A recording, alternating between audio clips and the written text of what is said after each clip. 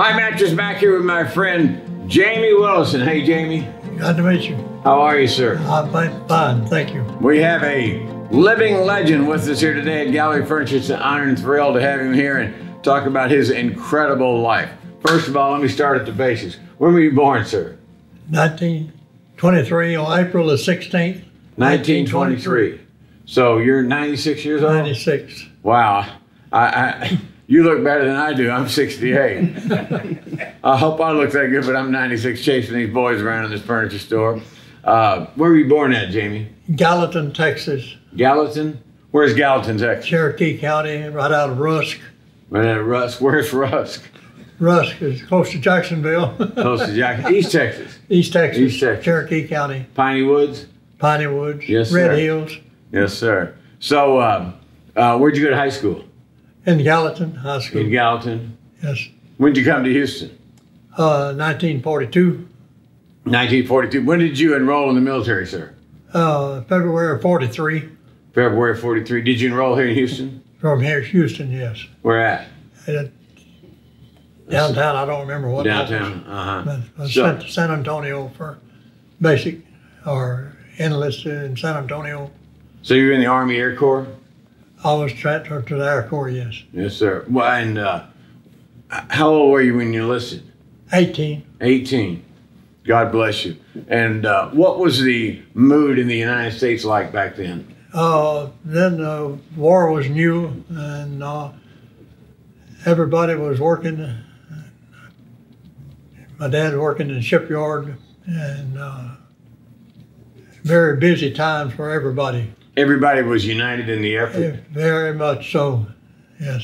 That's something we uh, it was we could we could learn a lot from being united in the United States. Uh, So, uh, when did you go overseas? uh,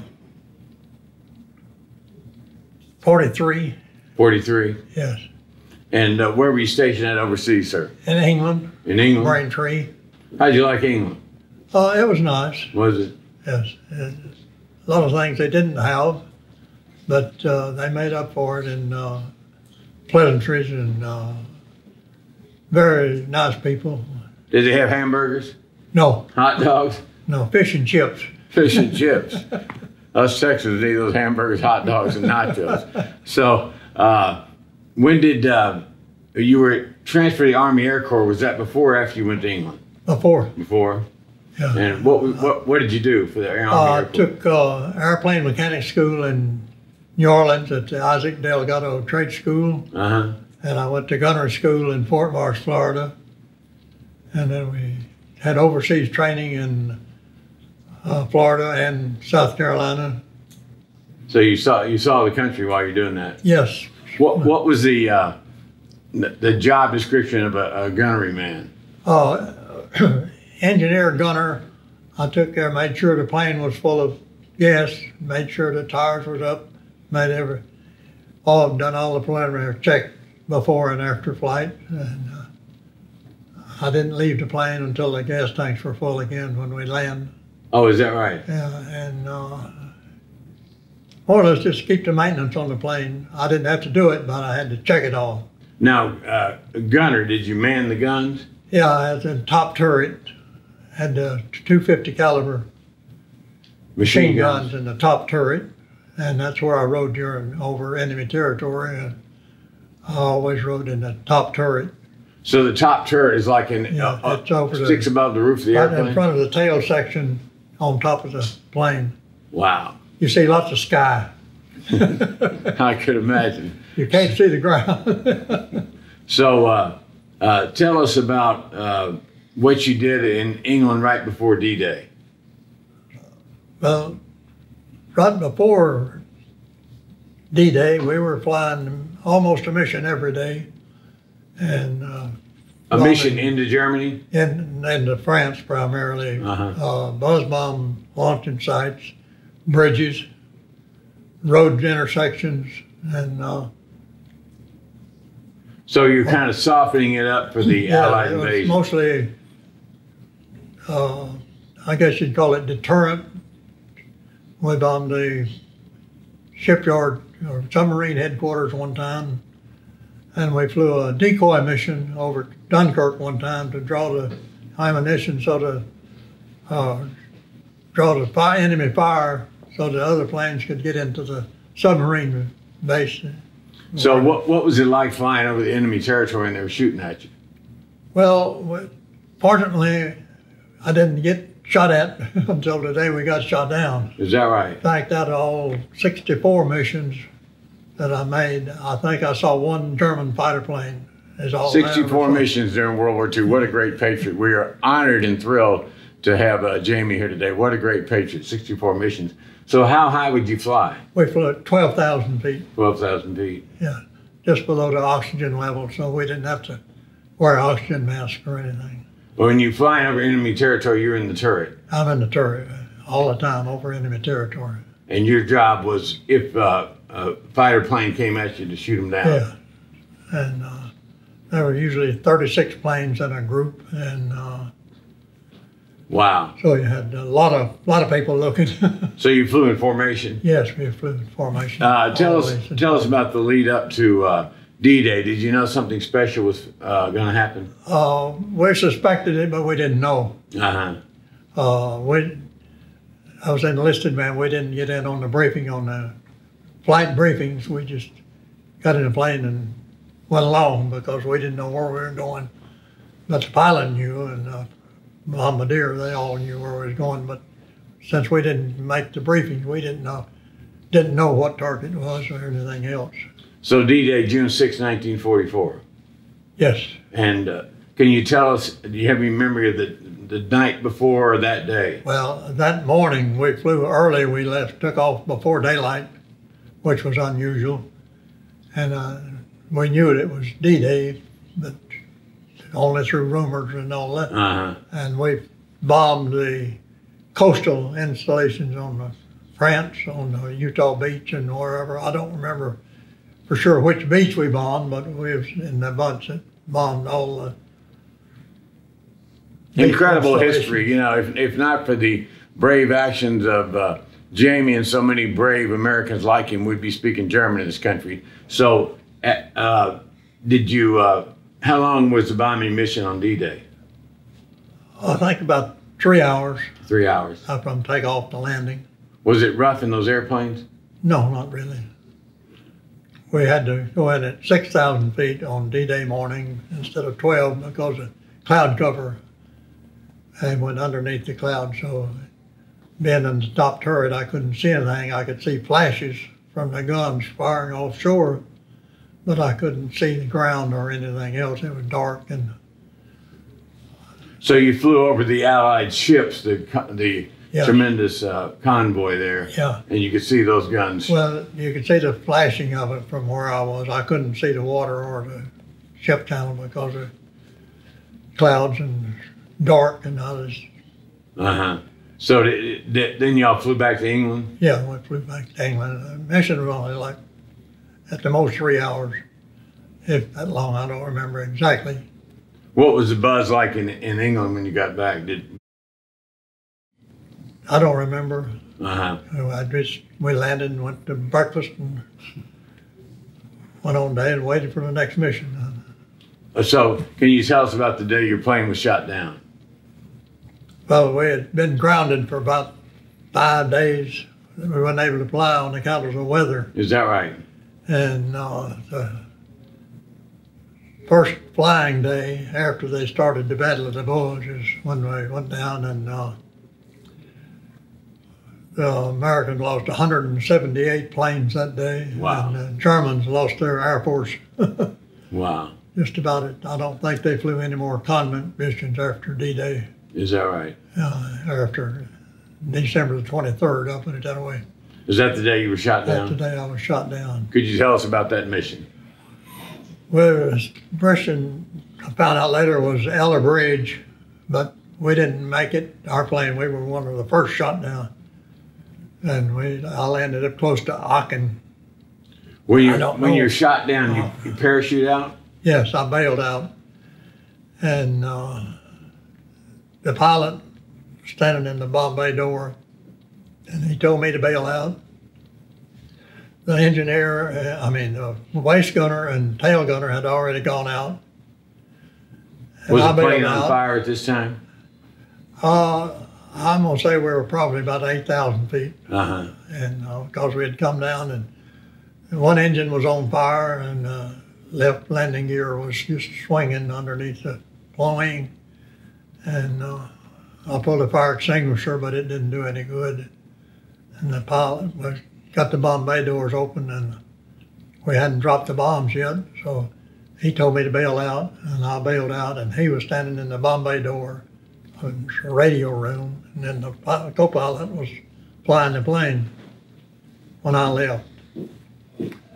I later talked to the co-pilot over the fence in the prison camp, and he said that the pilot had come back and took over the plane, and the bombardier was on his hands and knees crawling out of the bomb bay or nose cone coming back in. And when he bailed out, but the pilot and the bombardier went down with the plane, Wow. and the waist gunner was shot, had been hit in the side with the German fire from a fighter plane. And uh, the radio uh, tail gunner told me that he saw him later in the hospital after he got captured, that he had died in the hospital. hmm A guy named Matthews. And from then on, it was just walking and stay ahead of the line. So as you were parachuting down, did the uh, were the Germans waiting on you? They were waiting on me when I hit the ground. Yeah, they were watching me come down, and one of them had a rifle. The other one there, and they, had a little a farmhouse there, and they were using it for a headquarters for a sentry unit, I guess, or whatever. There's only about five soldiers there, but they watched me come down and walked right up on me. I snow about knee deep. I landed, kind of folded my knee under me and sprained it a little bit, but not much. I got up and they marched me up to the farmhouse, and then I stayed there probably two hours. And they walked, we walked into a little town, and went into a building, and they had captured a soldier there. I didn't know him, but I met him there, and the air raid siren sound went off, and we all went in the basement of this building, went down underneath the building. Actually, it wasn't a basement, just go down, had a ladder and walk down to get underneath the building. And when the sirens went off, uh, we went underneath the building and we stayed down there, and the bombs fell outside. Made dust all dirty underneath there, all that dust concussion had stirred it all up. But when they got quiet and we could see daylight back through the scuttle hole, and we crawled back up and me and the soldier got back up and we walked across the street over there and there'd been a team of horses that were killed right there in front of it. We went over and sat down underneath some trees over there and waiting to see what to do or where to go and finally a soldier come by and told us to come with him.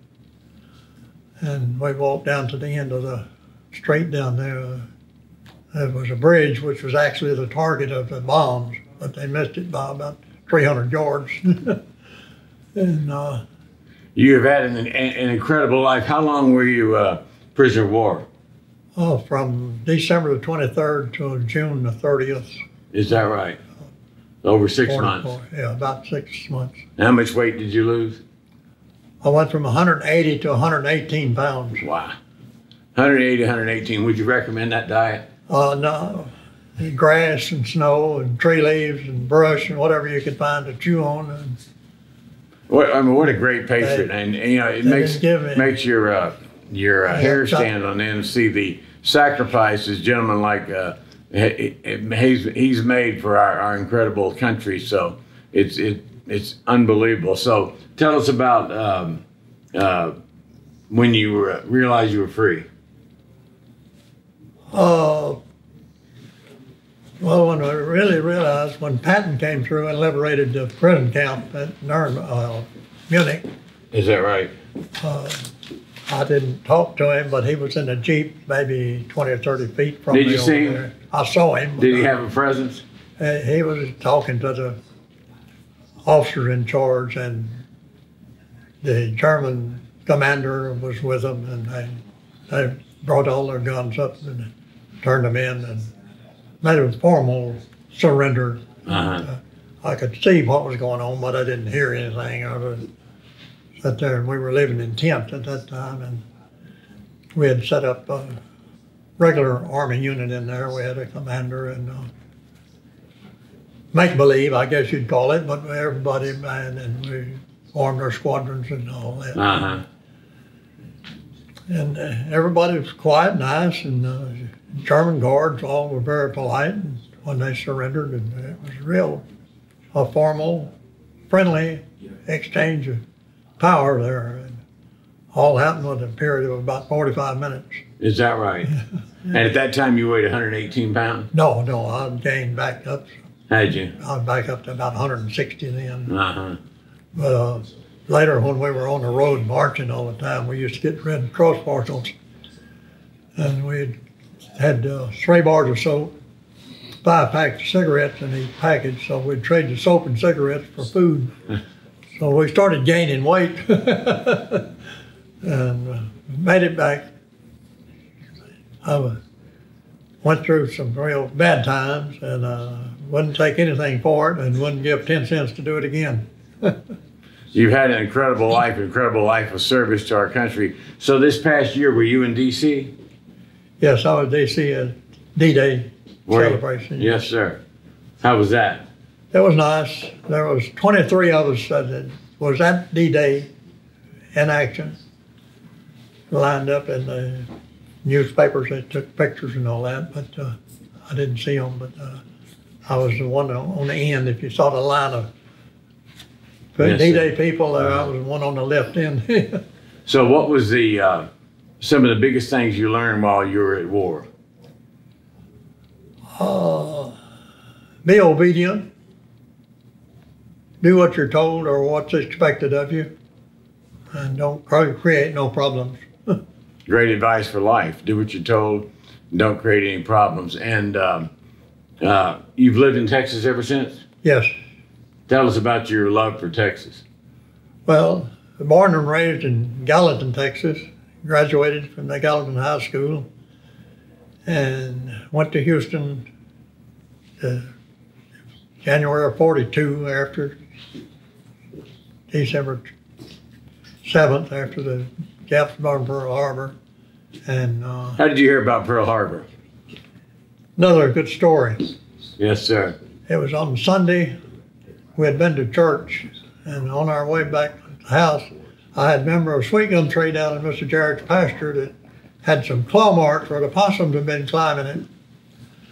So I decided, told my mother, I said, "Well, if you're getting dinner ready. I'm gonna run down and see if you got possums up that gum tree." So I got down there and climbed up the tree, and sure enough, there's a possum all curled up in the leaves and the holly up there. And I got me a stick and I was going to punch him, grab him by the tail and throw him out and beat him to the ground and uh, have possum for supper. Oh, but when I punched him, he didn't jump out, he jumped on me.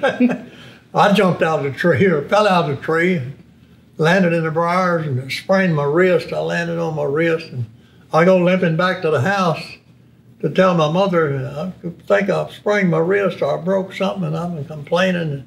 She said, Oh, never mind the Jap Pearl Japs from Pearl Harbor today. And it's a war going. And that's how I remember December the 7th. I'm Wow. standing there with my arm broke.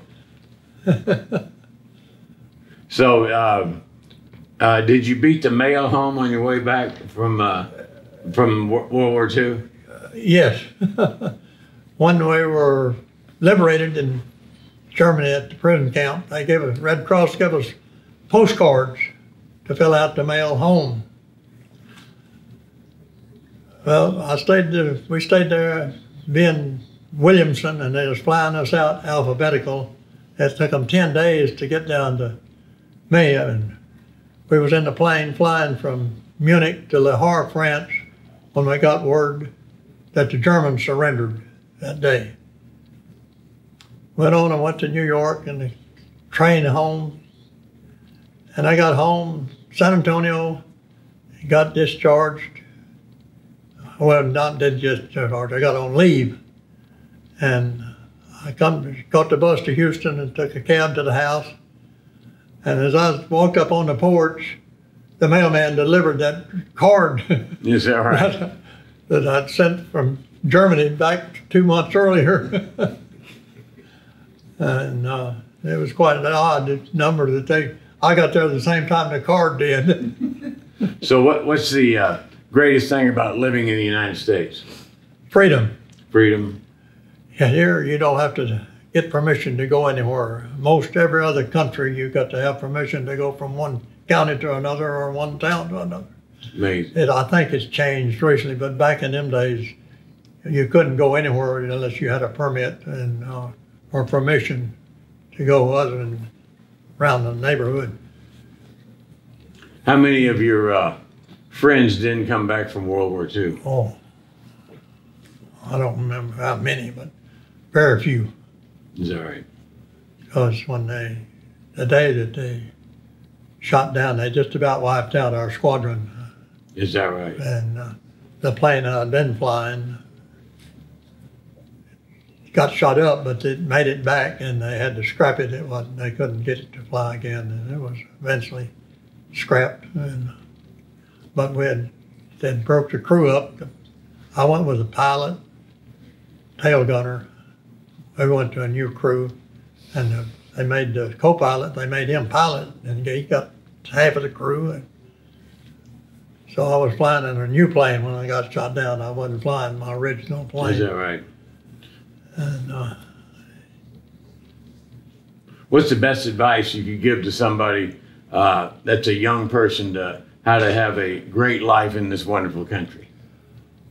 well, I think uh, tour of duty in the service is a good training place for young people to get started. It's not like it used to be. The uh, whatever you call it, mining behave, but it's good training. The army and or any of the service is good training to be a man uh, or build yourself up. Of course, if you got a chance to go to school and to college, certainly go. Yes, sir. Get all the education you can get. And don't take it for granted because it's a lot of people go to a lot of trouble to teach you. Don't take it for granted. I, I think all too often people like myself take this country for granted, but people like you who have fought and uh, seen your friends die for it know how special this country is. Yes, it's very different from, and even countries now, people can't travel without permits and get, you gotta apply for a visa and everything else before you can leave the country or enter the country. And here you can go and come when you get ready, Yes, sir. or when you can afford it, whichever comes first. As we close here with this incredible interview with this great patriot, Jamie, uh, what would you um, uh, tell somebody who is uh, is young, just coming out of high school, about the opportunities that are, are available for them in this country? I think uh, at this time, the opportunity to take advantage of what's there is great. And I think they should give it some thought as to what they want to do, then work toward that aim or that desire, whatever they want to be. And uh, people who say they're waiting to decide what they want to do are wasting their time. Uh, they should make a decision and it may not work out or it may work out better than you think. And if it doesn't work out, you can always try something else, yeah, right? Yeah, if it don't work out, start over. And that's one thing about here. If you don't like something, try something else. How important has work been in your life? Uh, well, it's been my livelihood. I've Uh-huh. always had to work, and we wasn't fortunate enough to have money. And I tell everybody back in the Depression days, money wasn't any trouble because nobody had any. Is that right? you didn't have to worry about money because there just wasn't any, and you made sure and eat what you had and could get. And I've worked a many a day for less than a quarter or for a quarter. wow. Mr. Chandler used to give me if I'd get up at four thirty or five o'clock, hook up the team and run a grass digger till noon, he would give me a quarter. And I could take a quarter and go to Jacksonville, and I could see two picture shows, buy a banana, and have a few pennies left. What's a grass digger? A grass digger is a Like a like a sled, but it's got hooks on it that go down and then you can raise and lower them. And then East Texas Bermuda grass is a mortal enemy of all crops. Is that right? Back then, we didn't have uh, pest or herbicides or anything else. You had to dig it up and freeze the roots or burn them to get rid of it because every joint on the Bermuda grass sprouts. So if you start out with one this big, you get one that's like this tomorrow. So it was our mortal enemy, Bermuda grass. And you had a grass digger that uh, get up in the fall of the year, you could run it over it and turn it up and let the freeze freeze it because we uh, always had four or five snows every winter and all that. But now we don't get no freezing weather anymore like we did then. Yes, sir. But that was one way to get rid of Bermuda grass was to dig it up where it could freeze. So you'd work for uh, five or six hours and make 25 cents. make 25 cents. How and lucky. sometimes he wouldn't give me a quarter. He didn't have one. Let me close the interview by saying what an honor and privilege it is to talk to you. You're a true American hero. And all these freedoms, all these liberties that we all too often take for granted in this country because of great people like you. You're an inspiration and example to all of us of uh, uh, belief in God, duty, honor, and country. And thank you so much, Jamie, for being here. Thank you. Thank you, sir.